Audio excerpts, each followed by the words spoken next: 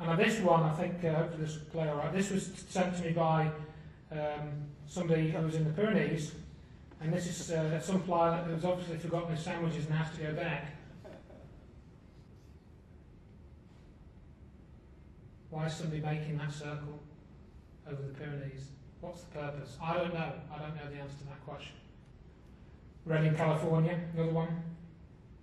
This is one I took in the Lake District, September 11, 2005.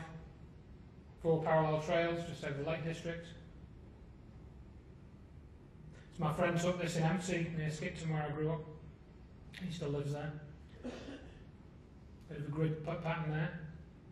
So obviously some kind of design. You know, my feeling is that when you see these grids, they're put in grids for some reason. I'm not entirely sure what the re reason is. I've got some ideas which I'll mention later on.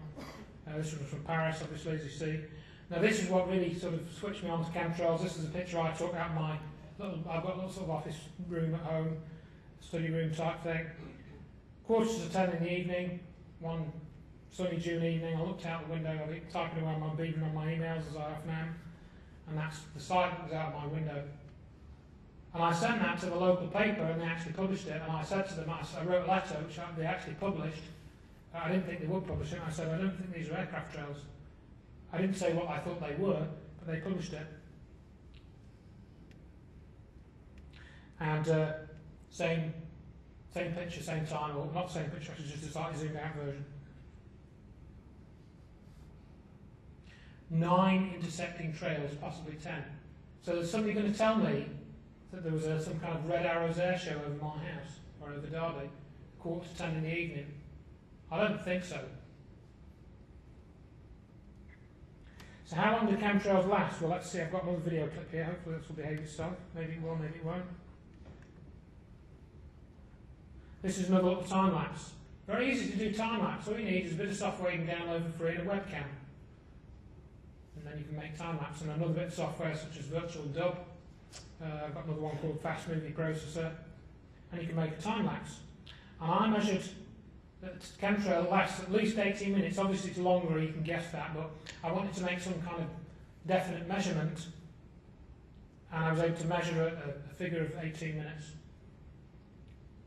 from the computer's clock. Easy to measure stuff. Let's try and have a scientific approach to work out what's going on as far as we can. I'm not a scientist, but I do have a background in a scientific discipline, which is software engineering. 18 minutes is how long they last. Um, basically, I'm not going to read all of this out, but chemtrails are not contrails, and here's six reasons I can give you why they're not the same. The visibility of the trails on satellite photographs, again, we've already covered that. You wouldn't see that with ordinary contrails, there's just not enough mass in them. Time of trail persistence. Some of these trails can persist for half an hour, 45 minutes, an hour, if you went out on a, summer's, on a winter's day and you breathed out, your breath hung around for 10, 15 minutes, wouldn't you think that was a bit odd? Because essentially it's the same condensation type of process that you're seeing with chemtrails. Um, so time of trail persistence, too long. Irregular pattern of appearance, this is one that often people will miss.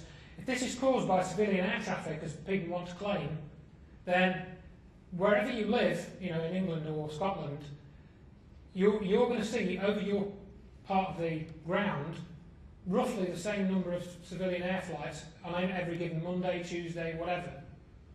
So when you can have a bright sunny summer's day one week and see no trails, and then you know one Tuesday, then the next Tuesday the sky's full of chemtrails, how can that be? How can that be? Because you've still got the same level of civilian air traffic.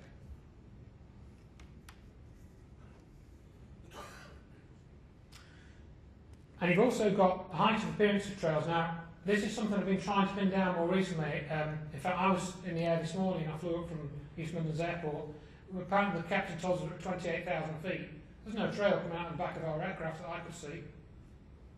In other words, there is actually a lower, low, lowest minimum height, despite what they put on some websites now.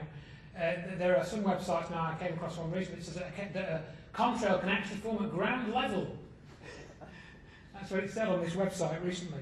But 28,000 feet, you don't get you don't get contrails below 28,000 feet. That's, that's, that's the figure. Uh, number of trails seen simultaneously at a given time, I've just shown some pictures. It's just ridiculous to suggest that you can have that number of aircraft over your location when it's not an air display of some kind. Just ridiculous to suggest that. And then this is another example I've tried to show here, broken trails. This is a very interesting picture. I've taken pictures like somebody else actually sent me this, a guy called Dave who lives uh, in, on Merseyside somewhere. You can see this curious shadow. What, what's forming that shadow? Very strange. I've got a couple of other strange pictures. I haven't had time to put them into this presentation. I've got like one where you've got an, what I call an unchemtrail, where the chemtrail seems to have gouged out a, a clear section from a cloud. It's very strange, but I didn't have time to put that into the end. Um, so we've got few, I'll just flick through a few more pictures of uh, planes with chemtrails, some of these which uh, uh, have been posted on the internet a while ago, but you may have seen some of these before. But this is unusual because you seem to have a plane here with uh, five sort of sections of trail, but only four engines. Poss possibly even six. So the number of trails doesn't appear to be quite matched with the number of engines. And you've got this weird sort of iridescent rainbow effect as well. Can't see it too well on this. These huge trails coming out the back of this plane. I'm pretty sure that's not chemtrails. That's not contrails, chemtrail. And this is an interesting picture. Um, how come these planes are so close together flying like that? You don't get planes flying like that. They're unmarked. They're unmarked planes. I had a lady, I did this, uh, this talk in uh, Isle of Wight a few weeks ago. A lady came up to me and said she'd managed to film uh, an unmarked aircraft at Gatwick Airport, all white. She did give me the, send me the video, but unfortunately it was a bit too blurred with us. I could see what she meant, but I, wasn't, I decided not to use it because it was a bit, just a bit too blurred. I'm skipping over some of these now quickly. Now this is very interesting. I mean, this could be a Photoshop job, I'm not sure, but uh, there's the website for it. You've got this circular craft leaving a chemtrail. Very strange. So what's doing it? And then this was on a Flickr side slideshow that somebody posted. We've got this shadow ahead of the plane and a shadow where the chemtrail is as well. Very strange shadow effects. Another one here that was on, picked up on the Coast to Coast website a couple of years ago. Where's the plane? Where's the plane? Some people are suggesting that what's putting these things there are not, they just, they just look like planes, but they're not. I don't know whether that's true or not. I can't tell you. I don't know. Um, we've got, basically, I'm not going to play this for a short time, it's a bit long, but there's um, an NBC um, 4 News LA, they did a two-part story on chemtrails in 2006, about 10 minutes. And they did actually, you know, they didn't just debunk it, they basically showed some unusual pictures and said they thought they went and talked to Rosalind Peterson. She talked about the, the barium samples and the, the water that she'd um, been sampling. Uh, I'll not play that clip though, because it's um, going to take up too much time. What I will say is something that I've tried to do, and you can all try and do this as well if you wish, or do, do as much of this as you wish. People have tried to challenge official agencies, uh, as I alluded to a few minutes ago, uh, as to what's actually the deal with chemtrails, what's going on. You always get the same response.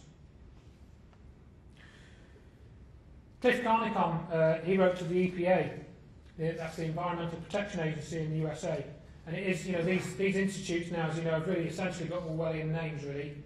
Uh, it's not the, you know, it's not the uh, Environmental Protection Agency, probably the Environmental Abuse Agency, I should think.